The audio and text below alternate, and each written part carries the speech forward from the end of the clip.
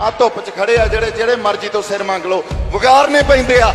ਨੌਜਵਾਨਾਂ ਨੂੰ ਵੰਗਾਰੋ ਤਾਂ ਸਹੀ, ਜਿਹੜੀ ਗੁਰੂਆਂ ਦੀ ਚਿਣਗ ਇਹਨਾਂ ਦੇ ਅੰਦਰ ਆ, ਉਹ ਚਿਣਗ ਹਜੇ ਵੀ ਹੈਗੀ।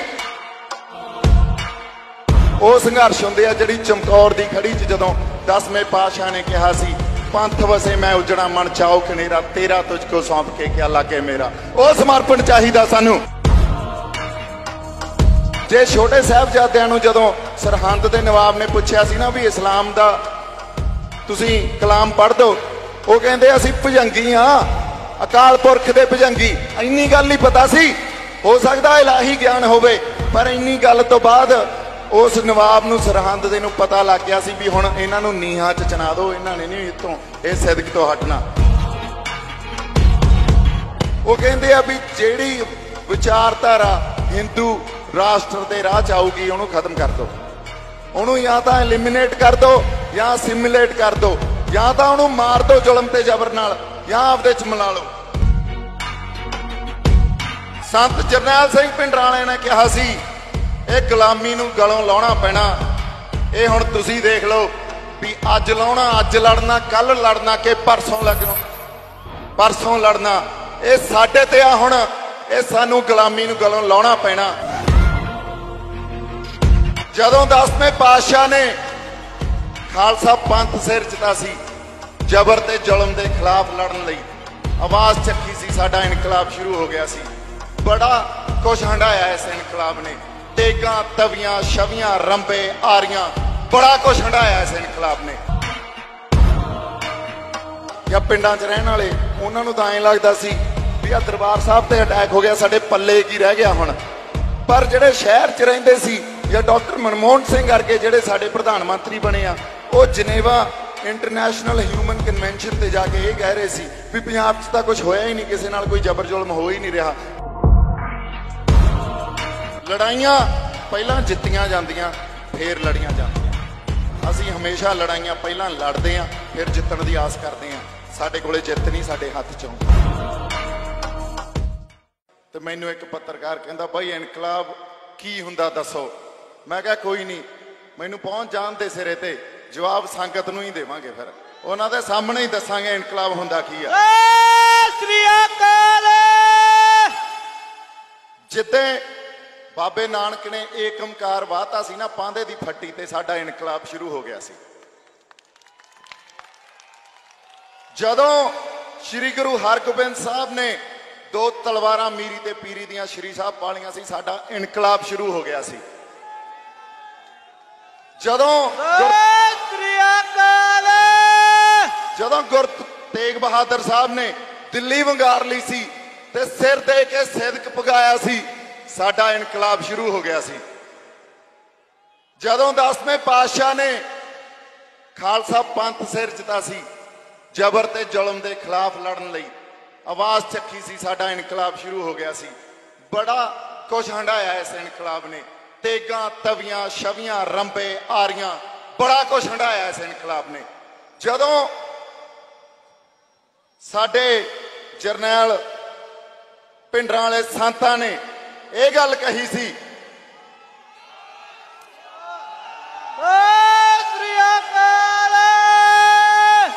ਸੰਤ ਜਰਨੈਲ ਸਿੰਘ ਪਿੰਡਰਾਲੇ ਨੇ ਕਿਹਾ ਸੀ ਇਹ ਗੁਲਾਮੀ ਨੂੰ ਗਲੋਂ ਲਾਉਣਾ ਪੈਣਾ। ਇਹ ਹੁਣ ਤੁਸੀਂ ਦੇਖ ਲਓ। ਵੀ ਅੱਜ ਲਾਉਣਾ, ਅੱਜ ਲੜਨਾ ਕੱਲ ਲੜਨਾ ਕਿ ਪਰਸੋਂ ਲੱਗਣਾ ਪਰਸੋਂ ਲੜਨਾ। ਇਹ ਸਾਡੇ ਤੇ ਆ ਹੁਣ। ਇਹ ਸਾਨੂੰ ਗੁਲਾਮੀ ਨੂੰ ਗਲੋਂ ਲਾਉਣਾ ਪੈਣਾ। ਮਿੱਤਰੋ, ਲੜਾਈ ਆ ਜਿਹੜੀ ਸੰਘਰਸ਼ ਆ, ਉਹ ਸਿਦਕ ਨਾਲ ਹੀ ਨਿਭਾਏ ਜਾਂਦੇ ਆ। ਉੱਥੇ ਸਮਰਪਣ ਹੋ ਕੇ ਸਿਰ ਦੇਣੇ ਪੈਂਦੇ ਆ। ਸਿਰ ਤੋਂ ਬਿਨਾ ਸੰਘਰਸ਼ ਨਹੀਂ ਲੜੇ ਜਾਂਦੇ। ਤੇ ਇਹ ਧਾਰਨਾਵਾਂ ਜਿਹੜਾ ਬਾਈ ਕਹਿੰਦਾ ਸੀ ਵੀ ਭਗਤ ਸਿੰਘ ਗਵਾਂਡੀਆਂ ਦੇ ਜੰਮੇ, ਇਹਨਾਂ ਧਾਰਨਾਵਾਂ ਨੂੰ ਤਿਆਗੋ, ਇਹਨਾਂ ਨੂੰ ਖੰਡਨ ਕਰੋ ਇਹਨਾਂ ਦਾ। ਇਹ ਸਾਨੂੰ ਭੰਬਲ ਭੂਸੇ ਚ ਪਾਉਣ ਨੂੰ ਧਾਰਨਾਵਾਂ ਬਣੀਆਂ। ਲੋ, ਕਿਹੜਾ ਦੱਸੋ ਸਮਰਪਣ ਨਹੀਂ ਆ ਇੱਥੇ? ਆ ਧੁੱਪ 'ਚ ਖੜੇ ਆ ਜਿਹੜੇ ਜਿਹੜੇ ਮਰਜ਼ੀ ਤੋਂ ਸਿਰ ਮੰਗ ਲਓ। ਵਿਗਾੜਨੇ ਪੈਂਦੇ ਆ। ਨੌਜਵਾਨਾਂ ਨੂੰ ਵੰਗਾਰੋ ਤਾਂ ਸਹੀ। ਜਿਹੜੀ ਗੁਰੂਆਂ ਦੀ ਚਿਣਗ ਇਹਨਾਂ ਦੇ ਅੰਦਰ ਆ, ਉਹ ਚਿਣਗ ਹਜੇ ਵੀ ਹੈਗੀ। ਜੇ ਅਸੀਂ ਏ ਸ੍ਰੀ ਅਕਾਲ ਔਰ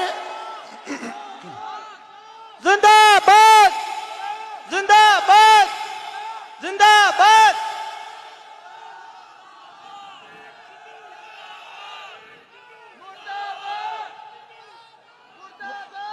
ਦੋ ਕੁ ਗੱਲਾਂ ਕਰ ਲਈਏ ਆਪਾਂ। ਭਾਈ, ਦੋ ਕੁ ਗੱਲਾਂ ਕਰ ਲਈਏ। ਗੱਲਾਂ ਇਹ ਆ ਵੀ ਇਹ ਜਿਹੜੀਆਂ ਧਾਰਨਾਵਾਂ ਨਾ ਵੀ ਸਭ ਕੁਝ ਪਤਾ ਹੋਣਾ ਚਾਹੀਦਾ। ਸਾਨੂੰ ਆਰਡੀਨੈਂਸ ਦਾ ਵੀ ਪਤਾ ਹੋਣਾ ਚਾਹੀਦਾ, ਇਹ ਬਾਲੀ ਵੱਡੀ ਗੱਲ ਨਹੀਂ ਹੁੰਦੀ। ਹਰ ਕਿਸੇ ਨੂੰ ਹਰ ਕੁਝ ਨਹੀਂ ਪਤਾ ਹੁੰਦਾ। ਇੰਨੀ ਕੀ ਗੱਲ ਪੱਲੇ ਬੰਨ ਲਓ। ਸ਼ੰਭੂ ਧਰਨੇ ਤੇ ਇੱਕ 5-7 ਸਾਲ ਦਾ ਜਵਾਕ ਸੀ। ਇੱਕ ਪੱਤਰਕਾਰ ਵੀਰ ਨੇ ਉਹਨੂੰ ਸਵਾਲ ਪੁੱਛਿਆ ਵੀ, ਬਾਈ, ਤੂੰ ਕਿਉਂ ਆਇਆ ਇੱਥੇ? ਉਹ ਕਹਿੰਦਾ, ਮੋਦੀ ਸਾਡੀਆਂ ਜ਼ਮੀਨਾਂ ਖਾਉਂਦਾ ਬਸ ਐਡੀ ਗੱਲ ਹੀ ਆ, ਮੋਦੀ ਸਾਡੀਆਂ ਜ਼ਮੀਨਾਂ ਖਾਉਂਦਾ ਇਹਦੇ ਉੱਤੇ ਕੁਝ ਪਤਾ ਕਰਨ ਦੀ ਜ਼ਰੂਰਤ ਨਹੀਂ। ਸਾਨੂੰ ਬਾਲੇ ਚੱਕਰਾਂ 'ਚ ਪੈਣ ਦੀ ਜ਼ਰੂਰਤ ਨਹੀਂ। ਜਦੋਂ ਸੰਘਰਸ਼ ਨੂੰ ਕਮਜ਼ੋਰ ਕਰਨਾ ਹੋਵੇ ਨਾ, ਇਹਨਾਂ ਗੱਲਾਂ 'ਚ ਪਾ ਦਿਓ ਵੀ ਪੜ੍ਹ ਕੇ ਆਓ। ਯਾਰ ਨਹੀਂ ਪੜ੍ਹ ਕੇ ਆਉਂਦੇ, ਸਾਡੀ ਤਾਂ ਹੋਂਦ ਦੀ ਲੜਾਈ ਆ। ਸਾਡੀ ਜ਼ਮੀਨਾਂ ਦੀ ਲੜਾਈ ਆ। ਜ਼ਮੀਨ ਨਾਲ, ਸਾਡੀ ਮਿੱਟੀ ਨਾਲ ਸਾਡਾ ਬਹੁਤ ਕੁਝ ਜੁੜਿਆ ਹੁੰਦਾ। ਜਦੋਂ ਸਾਡੇ ਤੋਂ ਸਾਡੀ ਹੋਂਦ, ਸਾਡੀ ਮਿੱਟੀ ਖੁਰਦੀ ਆ ਨਾ, ਸਭ ਕੁਝ ਖੁਰ ਜਾਂਦਾ। ਇਹ ਸਾਨੂੰ ਪਤਾ, ਲੜਾਈ ਸਾਡੀ ਹੋਂਦ ਦੀ ਆ। ਹੁਣ ਗੱਲ ਕੱਢੀ ਆਰਡੀਨੈਂਸ ਦੀ ਆ, ਇਹ ਆਰਥਿਕ ਗੱਲ ਨਹੀਂ। ਅਸੀਂ ਜੇ ਸਮਝੀਏ ਵੀ ਇਹ ਪੂੰਜੀਵਾਦ ਆ ਤੇ ਇਹ ਕੈਪੀਟਲਿਸਟਿਕ ਸੁਸਾਇਟੀ ਆ ਤੇ ਇਹ ਜਿਹੜੇ ਇਹ ਵੱਡੀਆਂ ਵੱਡੀਆਂ ਕੰਪਨੀਆਂ ਕਾਰਪੋਰੇਟ ਕਲਚਰ ਪੰਜਾਬ ਚ ਆਊਗਾ ਤੇ ਸਾਡੀਆਂ ਜ਼ਮੀਨਾਂ ਖੋ ਲੈਣਗੇ। ਕੱਲੀ ਗੱਲ ਇੱਥੋਂ ਤੱਕ ਹੀ ਸੀਮਤ ਨਹੀਂ। ਇਹ ਅਧੂਰਾ ਸੱਚ ਆ। ਪੂਰਾ ਸੱਚ ਕੀ ਆ? ਪੂਰਾ ਸੱਚ ਇਹ ਆ ਵੀ ਦਿੱਲੀ ਨੇ ਸਾਡੀ ਹੋਂਦ, ਸਾਡੀ ਹਸਤੀ ਮਟਾਉਣ ਦਾ ਨੰਬਰ 2 ਕਸ਼ਮੀਰ ਤੋਂ ਬਾਅਦ ਲਾਤਾ ਹੁਣ ਸਾਨੂੰ ਜਦੋਂ ਗੱਲ ਸਾਡੀ ਹੋਂਦ ਤੇ ਆ ਜਾਂਦੀ ਆ, ਤੇ ਜਿਹੜੇ ਸੰਘਰਸ਼ ਵਿੱਢਣੇ ਪੈਂਦੇ ਆ, ਉਹ ਸਮਰਪਣ ਵਾਲੇ ਸੰਘਰਸ਼ ਹੁੰਦੇ ਆ। ਉਹ ਸੰਘਰਸ਼ ਹੁੰਦੇ ਆ ਜਿਹੜੀ ਚਮਕੌਰ ਦੀ ਖੜੀ 'ਚ ਜਦੋਂ 10ਵੇਂ ਪਾਤਸ਼ਾਹ ਨੇ ਕਿਹਾ ਸੀ, ਪੰਥ ਵਸੇ ਮੈਂ ਉਜੜਾ ਮਨ ਚਾਓ ਕਨੇਰਾ ਤੇਰਾ ਤੁਝ ਕੋ ਸੌਂਪ ਕੇ ਕਿਆ ਲਾਗੇ ਮੇਰਾ। ਉਹ ਸਮਰਪਣ ਚਾਹੀਦਾ ਸਾਨੂੰ।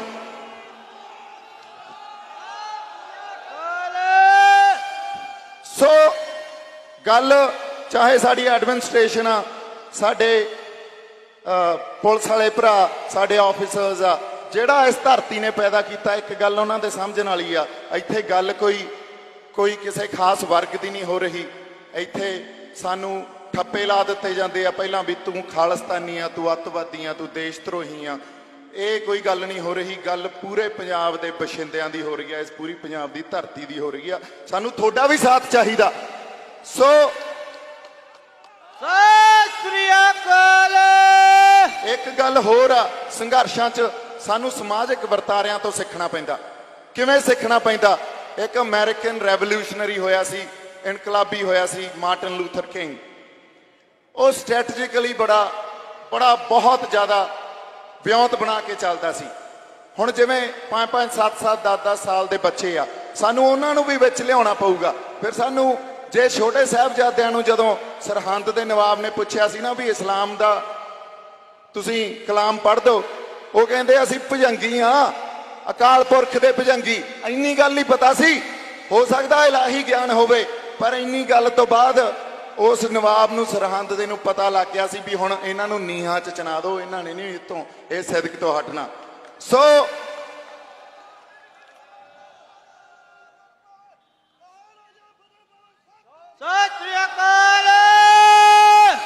ਗੱਲ ਮਾਰਟਨ ਲੂਥਰ ਕਿੰਗ ਦੀ ਕਰ ਰਹੇ ਸੀ। ਆ ਇੱਕ ਸਪੀਕਰ ਜਾਂ ਤੁਹਾਡਾ ਬੰਦ ਹੋ ਜਾਂਦਾ ਯਾਰ, ਇਹਨੂੰ ਮੜਾ ਜਿਹਾ ਚਲਾਓ ਕਰਾਂ ਆ ਦੇਖਿਓ ਕਿੱਥੋਂ ਚੱਲਦਾ, ਚੱਲ ਪਿਆ। ਅੱਛਾ ਗੱਲ ਮਾਰਟਨ ਲੂਥਰ ਕਿੰਗ ਦੀ ਕਰ ਰਹੇ ਸੀ, ਉਹ ਬੱਚਿਆਂ ਨੂੰ ਵੀ ਨਾਲ ਲਾ ਲੈਂਦਾ ਸੀ। ਉਹ ਸਾਡੀਆਂ ਭੈਣਾਂ ਨੂੰ ਵੀ ਆਪਦੀਆਂ ਨੂੰ ਉੱਥੋਂ ਦੀਆਂ ਜਿਹੜੀਆਂ ਕੁੜੀਆਂ ਸੀ, ਉਹਨਾਂ ਨੂੰ ਨਾਲ ਲੈ ਲੈ ਲੈਂਦਾ ਸੀ। ਕਿਉਂਕਿ ਤੁਸੀਂ ਜਦੋਂ ਕੋਈ ਸੰਘਰਸ਼ ਲੜਨਾ, ਤੁਸੀਂ ਵੱਧ ਤੋਂ ਵੱਧ ਲੋਕਾਂ ਨੂੰ ਲਾਮਬੰਦ ਕਰਨਾ, ਇਹ ਬਹੁਤ ਜ਼ਰੂਰੀ ਹੁੰਦਾ।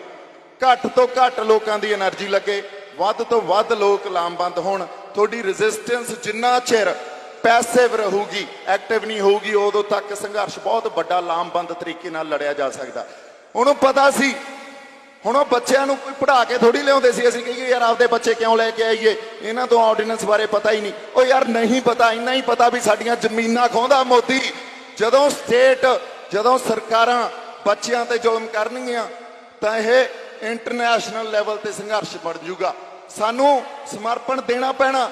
ਸਾਡੇ ਘਰਾਂ ਦਾ ਵੀ ਦੇਣਾ ਪੈਣਾ, ਸਾਡੇ ਬੱਚਿਆਂ ਦਾ ਵੀ ਦੇਣਾ ਪੈਣਾ, ਆਪਦੇ ਸਿਰ ਵੀ ਦੇਣੇ ਪੈਣੇ ਆ, ਸਾਡੇ ਪਰਿਵਾਰਾਂ ਨੂੰ ਵੀ ਝੋਕਣਾ ਪੈਣਾ। ਇਹ ਗੱਲ ਜਦੋਂ ਤੱਕ ਸਾਡੇ ਸਮਝ 'ਚ ਨਹੀਂ ਆਉਂਦੀ, ਅਸੀਂ ਇਕੱਲੇ ਨੌਜਵਾਨਾਂ ਨੂੰ ਵੰਗਾਰਦੇ ਰਹਿੰਦੇ ਆ, ਪਰ ਗੱਲ ਗਾਂ ਦੀ ਆ, ਇਹ ਸਮਝਣ ਵਾਲੀ ਗੱਲ ਆ ਸਾਡੇ ਲਈ। ਹੁਣ ਅਗਲੀ ਗੱਲ ਜਿਹੜੀ ਸਾਡੇ ਲਈ ਸਮਝਣੀ ਬਹੁਤ ਜ਼ਰੂਰੀ ਆ, ਜਿੰਨੇ ਕੁ ਲੋਕਾਂ ਦੇ ਕੰਨਾਂ 'ਚ ਪੈਂਦੀ ਆ ਉਨਾ ਹੀ ਚੰਗਾ। ਵੀ ਜਿਹੜੀ ਸਾਡੀ ਲੜਾਈ ਆ, ਉਹ ਕੱਲੀ ਕਾਰਪੋਰੇਟਸ ਦੇ ਨਾਲ ਲੜਾਈ ਨਹੀਂ ਹੋ ਰਹੀ ਇੱਥੇ। ਲੜਾਈ ਇਹ ਨਹੀਂ ਆ ਵੀ ਉਹ ਕਾਰਪੋਰੇਟ ਖੇਤਰ ਆਊਗਾ ਤੇ ਕਿਸਾਨਾਂ ਤੇ ਆਪਦਾ ਗਲਬਾ ਪਾਲੂਗਾ ਤੇ ਸਾਡੀਆਂ ਜ਼ਮੀਨਾਂ ਆਪਦੇ ਕੋਲੇ ਕੰਟਰੋਲ ਕਰਨਗੇ, ਸਾਨੂੰ ਦੱਸਣਗੇ, ਤੁਸੀਂ ਕਿਹੜੀ ਫਸਲ ਉਗਾਉਣੀ ਆ, ਤੁਸੀਂ ਖਾਣਾ ਕੀ ਆ, ਤੁਸੀਂ ਪਹਿਨਣਾ ਕੀ ਆ, ਤੁਸੀਂ ਦੇਖਣਾ ਕੀ ਆ, ਕਿਹੜੇ ਗਾਣੇ ਸੁਣਨੇ ਆ, ਕਿਹੜਾ ਕੁਝ ਮਾਸ ਖਾਣਾ ਕਿ ਨਹੀਂ ਖਾਣਾ, ਗੱਲ ਇੱਥੋਂ ਤੱਕ ਨਹੀਂ ਆ। ਅਸੀਂ ਇਹ ਲੜਾਈ ਲੜ ਰਹੇ ਹਾਂ ਉਸ ਧਿਰ ਦੇ ਖਿਲਾਫ, ਜਿਹਦੀ ਵਿਚਾਰਧਾਰਾ ਇੱਕ ਨੇਸ਼ਨ ਬਿਲਡਿੰਗ ਦੀ ਆ। ਤੇ ਉਹ ਨੇਸ਼ਨ ਬਿਲਡਿੰਗ ਜਾਂ ਦੇਸ਼ ਇੱਕ ਬਿਲਡ ਕਰਨਾ ਉਹਨਾਂ ਲਈ ਉਹ ਕੀ ਆ। ਉਹ ਕਹਿੰਦੇ ਆ ਵੀ ਜਿਹੜੀ ਵਿਚਾਰਧਾਰਾ ਹਿੰਦੂ ਰਾਸ਼ਟਰ ਦੇ ਰਾਹ ਚ ਆਊਗੀ, ਉਹਨੂੰ ਖਤਮ ਕਰ ਦਿਓ ਉਹਨੂੰ ਜਾਂ ਤਾਂ ਐਲੀਮੀਨੇਟ ਕਰ ਦਿਓ ਜਾਂ ਸਿਮੂਲੇਟ ਕਰ ਦਿਓ ਜਾਂ ਤਾਂ ਉਹਨੂੰ ਮਾਰ ਦਿਓ ਜ਼ੁਲਮ ਤੇ ਜ਼ਬਰ ਨਾਲ, ਜਾਂ ਆਪਦੇ ਚ ਮਿਲਾ ਲਓ। ਹੁਣ ਕੁਝ ਲੜਾਈਆਂ ਇਹ ਹੁੰਦੀਆਂ ਜਿਹੜੀਆਂ ਪ੍ਰਗਟ ਰੂਪ ਚ ਸਾਨੂੰ ਸਮਝ ਆ ਜਾਂਦੀਆਂ।